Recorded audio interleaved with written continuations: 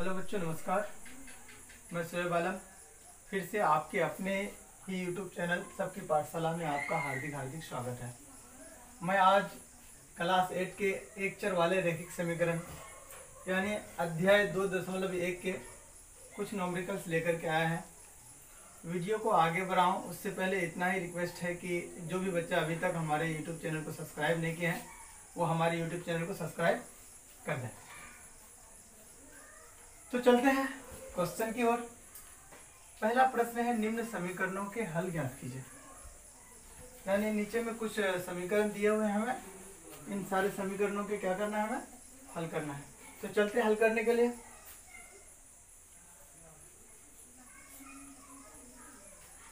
मैंने हल लिख दिया। अब देखिए, ये थ्री जो है, ये एक्स से भी मल्टीप्लाई होगा और माइनस थ्री से भी मल्टीप्लाई होगा। तो तीन को जब हम x से गुना करेंगे तो थ्री एक्स और जब माइनस को प्लस से गुना करेंगे तो माइनस तीन को तीन से गुना करेंगे तो नौ, बराबर? पंद्रह? अब चर संख्या को एक तरफ़ रखेंगे और अचर संख्या को एक तरफ़ रखेंगे। बच्चे, यहाँ देखो थ्री एक्स जो है, वो एक चर संख्या है, और माइनस नाइन अचर संख्या है, और पंद्रह भी अचर संख्या है। यानी चर संख्या को हम एक तरफ़ रखते हैं, तथा अचर संख्या को एक तरफ़ कर देंगे। पंद्रह इस बार पहले से है और यहाँ माइनस नाइन बराबर के बाएँ पक्ष में, उसको दाएँ पक्ष में लेकर के आते हैं तो प्लस नाइन हो जाएगा। फिर थ्री एक्स बराबर हो जाएगा। पंद्रह में जब नौ को जमा कर देंगे तो पंद्रह और नौ, पाँच और नौ नौ और पाँच, चौदह का चार, हाथ में एक एक और एक, दो, यानी पंद्रह और नौ को जब ऐड करते हैं आपस में तो चौबीस होता है, यानी थ्री एक्स बराबर चौबीस। अब देखिए, तीन और एक्स जो है आपस में क्या है? गुना में है। जब तीन को बराबर के दाई ओर लेके जाएँगे तो क्या हो जाएगा? वो भागा में कन्वर्ट हो जाएगा। यानी कि चौबीस बटे तीन हो जाएगा। अब तीन का पहाड़ा पड़ेंगे तो तीन एक तीन, और तीन आठ है चौबीस। यानी हमारे पास x का जो वैल्यू होगा, वो फाइनली आठ हो जाएगा। ठीक? x बराबर आठ आंसर हो जाएगा ओके अब अगली हिसाब है, दो नंबर इसमें भी उसी तरह x बटे दो माइनस सात बराबर पंद्रह। यानी चर संख्या भी है और अचर संख्या भी फिर उसी तरह हम क्या करेंगे? चर संख्या को एक तरफ़ रखेंगे तथा अचर संख्या को भी दूसरी तरफ़ रखेंगे। अब x बटे टू को इस पार रखेंगे बराबर के। और पंद्रह पहले से इस ओर है। और माइनस सात को जब हम बराबर के दाएँ ओर लेके जाएँगे तो प्लस सात हो जाएगा। अब फिर एक्स बटे दो बराबर पंद्रह में सात को जमा करेंगे तो हो जाएगा बाईस। अब देखिए एक्स बटे दो, यानी x और दो आपस में क्या है? भाग में है। और जब दो को हम बराबर के दाई ओर लेके जाएँगे तो एक्स का वैल्यू जो होगा, ये दो इस पार आकर के 22 से गुना हो जाएगा।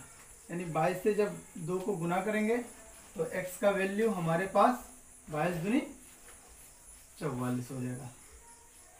यही आंसर होगा। अब अगली हिसाब है हमारे पास माइनस एक्स बटे सात प्लस दो बराबर आठ।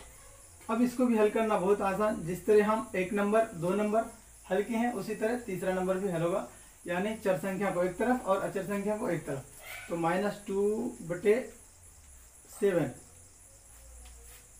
चर संख्या एक तरफ़ रखेंगे। आठ पहले से इस पार था और प्लस दो को जब इस पार लेकर के आएँगे तो माइनस दो हो जाएगा। अब यहाँ देखिए, माइनस टू एक्स बटे सेवन बराबर माइनस टू एक्स बटे सेवन बराबर आठ से दो गया छः। अब देखिए, माइनस टू बटे सेवन यानी सात भागा में है, और जब बराबर के इस ओर लेकर के जाएँगे तो किसमें हो जाएगा? गुना में हो जाएगा, यानी माइनस टू एक्स बराबर सात छः बयालीस। चलिए लिख देते हैं गुना, सात, छः गुना सात, यानी टू एक्स बराबर बयालीस। तो x बराबर क्या हो जाएगा?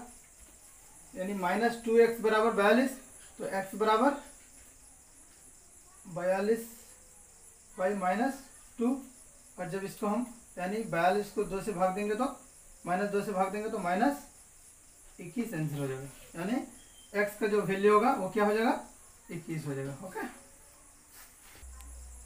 अब चलते हैं चौथे नंबर की ओर। चौथा नंबर में फिर क्या है?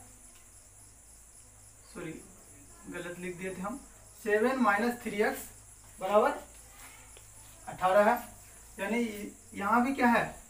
कुछ चर संख्या है और अचर संख्या भी है। तो हम चर संख्या को एक तरफ़ रखेंगे और अचर संख्या को भी एक दूसरी तरफ़ रखेंगे। तो फिर चलते हैं। हल लिखेंगे यहाँ यहाँ पे हमारे पास चर संख्या क्या है? माइनस थ्री एक्स है। तो माइनस थ्री एक्स को हम बराबर के इस ओर रखेंगे। फिर बराबर रखेंगे लिखेंगे। अठारह पहले से इस पार है, और जब प्लस सात को बराबर के इस पार लेकर के आएँगे, यानी बराबर के दाहिनी ओर लेकर के आएँगे तो क्या हो जाएगा? Minus seven. अब माइनस थ्री एक्स बराबर हो जाएगा। अठारह से सात गया ग्यारह। समझे? माइनस थ्री एक्स बराबर, अठारह से सात गया ग्यारह बचा। अब देखिए, थ्री और एक्स थ्री और एक्स आपस में गुना में है, और जब थ्री को बराबर के इस ओर लेकर के आएँगे, यानी बराबर के दाहिनी ओर लेकर के आएँगे तो वो भागा में चेंज हो जाएगा ना? तो ग्यारह बटे माइनस थ्री अब फाइनली जो मेरे पास आंसर आएगा हमारे पास तो वो होगा एक्स बराबर माइनस ग्यारह बटे तीन। ओके अब चलते हैं पांचवी नंबर की ओर। पांचवा नंबर है अठारह बराबर चालीस माइनस थ्री। एक्स अब इसको सबसे पहले हम व्यवस्थित कर लेते हैं। ठीक है? थोड़ा अच्छा से सजा देते हैं। यहाँ अठारह बराबर चालीस है तो अठारह बराबर चालीस माइनस थ्री एक्स है। तो इसको हम चालीस एक्स माइनस थ्री, सॉरी, चालीस माइनस थ्री एक्स बराबर अठारह लिख सकते हैं? तो बिल्कुल लिख सकते हैं। चालीस माइनस थ्री एक्स बराबर अठारह? ओके अब चर संख्या को एक संख्या को तो थ्री एक्स हमारे पास चर संख्या माइनस थ्री एक्स चर संख्या और अठारह, इस पर चालीस आ जाएगा तो माइनस चालीस। फिर एम्प्लाइज माइनस थ्री एक्स बराबर चालीस अट्ठारह से चालीस घट जाएगा तो माइनस बाईस एम्प्लाइज यानी एक्स बराबर यहाँ माइनस माइनस थ्री और एक्स आपस में गुना में है, इस पर आएगा तो भागा में हो जाएगा। ठीक माइनस माइनस कैंसिल बाईस और थ्री आपस में नहीं कट रहा है तो क्या करेंगे? एक्स का वैल्यू जो होगा, वो बाईस बटे तीन आंसर होगा। तो बच्चों, आज के लिए इतना ही। अब फिर मिलेंगे नेक्स्ट वीडियो में। धन्यवाद।